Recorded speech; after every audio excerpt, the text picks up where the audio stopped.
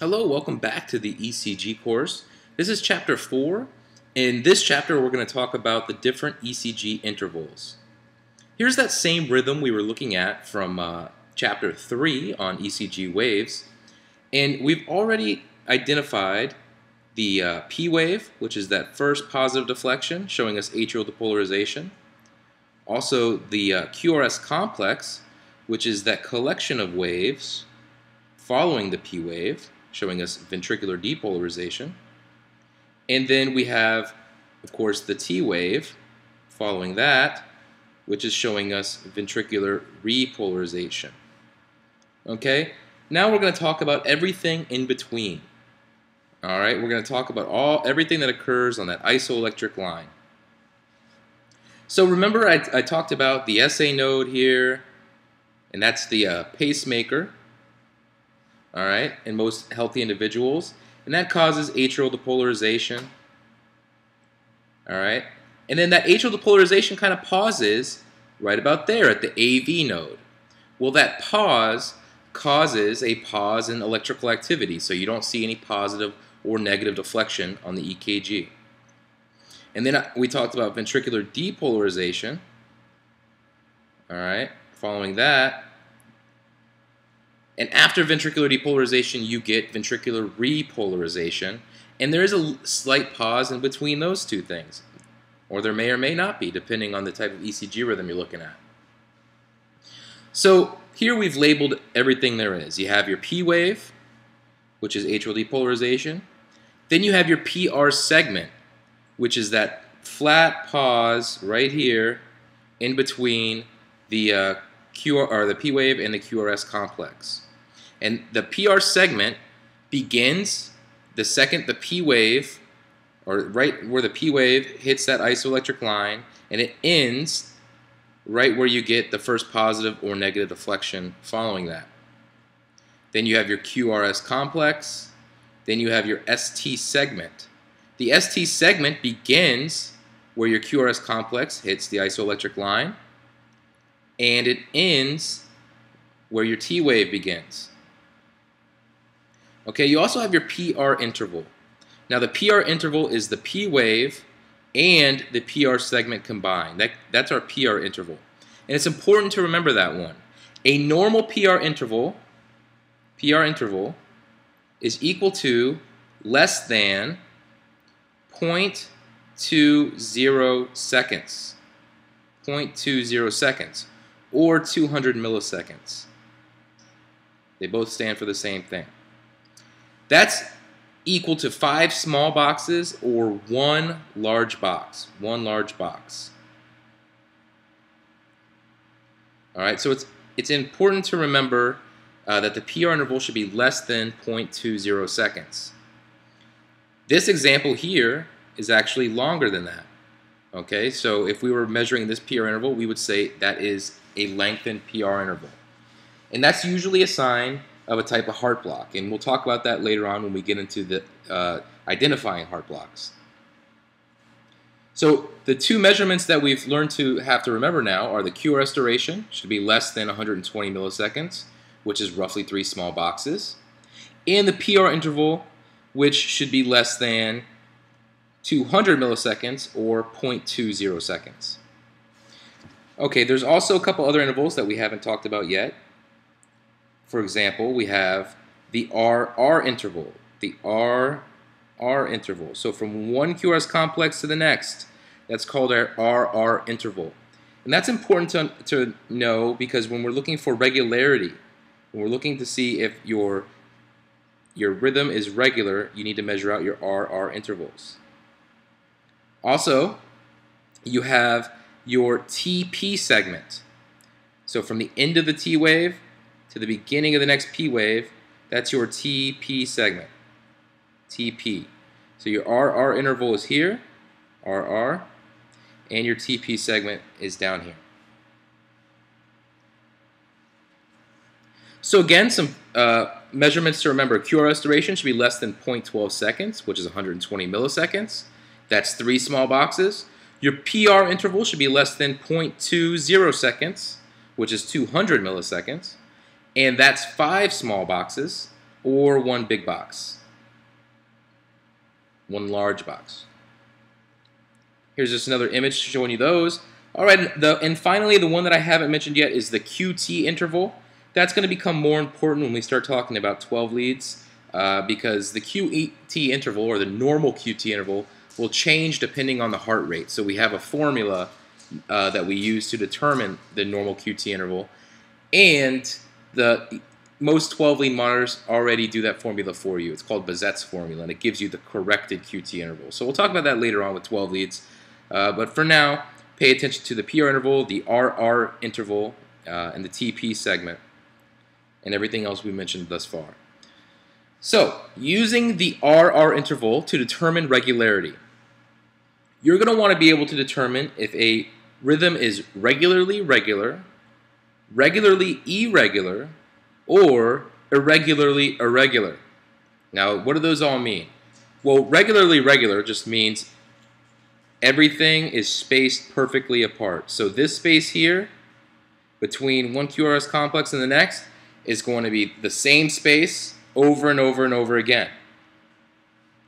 Regularly irregular, well that would be kind of like a pattern. You would have maybe one, two, or three beats together, then you would have a space, and then same thing again, and then a space.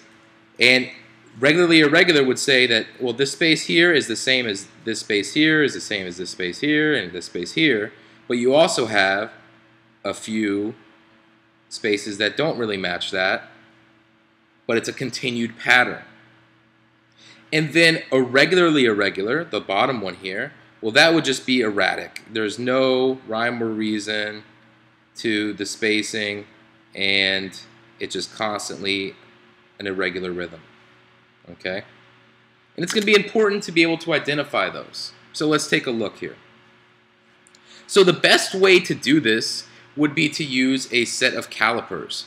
Okay? You would use a set of calipers, and I'm going to try to open up my calipers now so I can do that.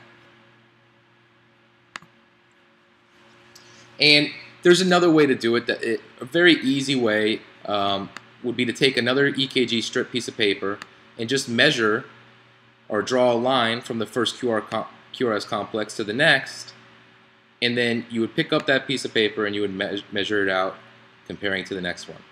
So you can see with these calipers that I'm using that this rhythm stays very regular. That R to R interval stays very regular throughout.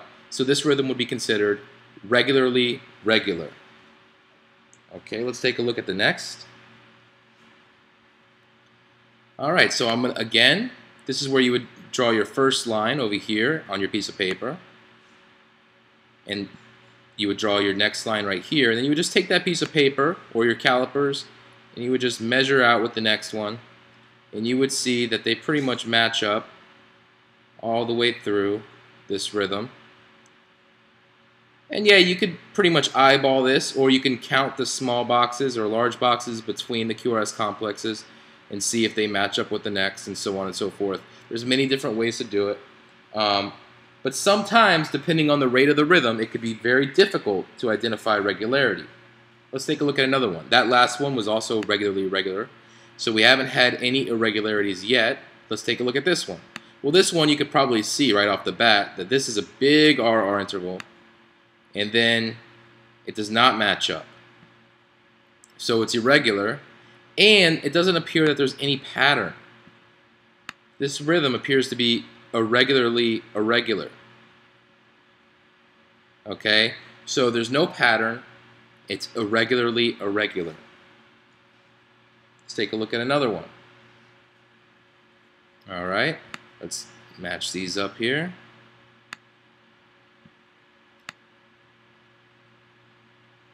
That looks about the same. So that's regular, regular. And then we have a extra beat that looks a little odd there. So we don't have our QRS complex occur. But the rhythm itself is pretty regular. So the, the underlying rhythm is regularly regular, and then you have what appears to be an ectopic beat. And you're going to learn more about ectopy uh, later on. So this rhythm, if you wanted to call it regularly irregular. It wouldn't really be true because there, there's no pattern here. Unless this keeps occurring uh, throughout the rhythm, uh, there's no pattern. So the rhythm itself, the underlying rhythm, is regularly regular. Okay, there's no irregularity except for that single beat there. All right, well, here we have a very fast one, so let's take a look at this one. These are very hard to tell without me actually measuring. It appears that it is very regular. That's going to be important because your treatment is going to depend on you being able to identify and interpret the rhythm accurately. And you can only do that by noting the different rules of the rhythm, such as regularity. So this one is very regular. It is regularly regular. Okay, so that's another one. All right, let's take a look at this one. So I could start here at the R wave there. Let's go to there. Uh, I don't think, does that match up? Might be a little off actually. And it definitely skips a beat there. No, that R, R interval is pretty close. So I would say that this one is regularly irregular because this rhythm is going to continue throughout. You have one, two, three beats, and then you have a space, and then you have another one, two, three beats, and then you probably have another space, and then so on and so forth. And you'll see that that kind of fits certain types of rhythms. So that is regularly irregular. So going back here to the first one again, I just kind of want to go over them again.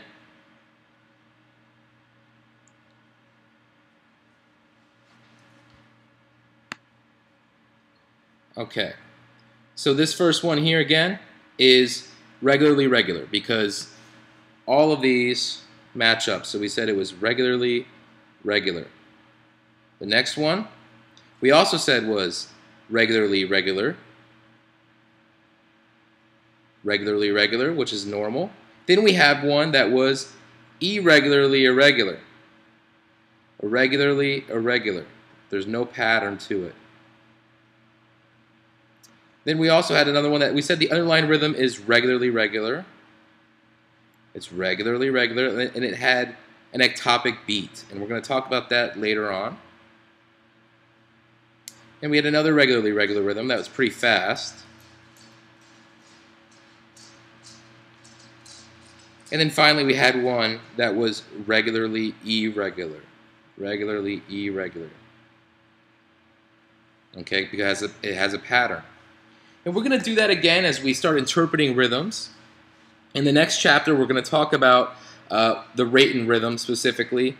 Uh, in the last chapter, in, in, chapter 3, we talked about ECG waves. If you want to go back to chapter 3 and, and look that over, click on the left image there. If you want to continue on to chapter 5 and talk about the rates and the rhythms, or learn more about that, click on the right image. And as always, don't forget to subscribe. I will see you in the uh, next video on rate and rhythm. See you next time.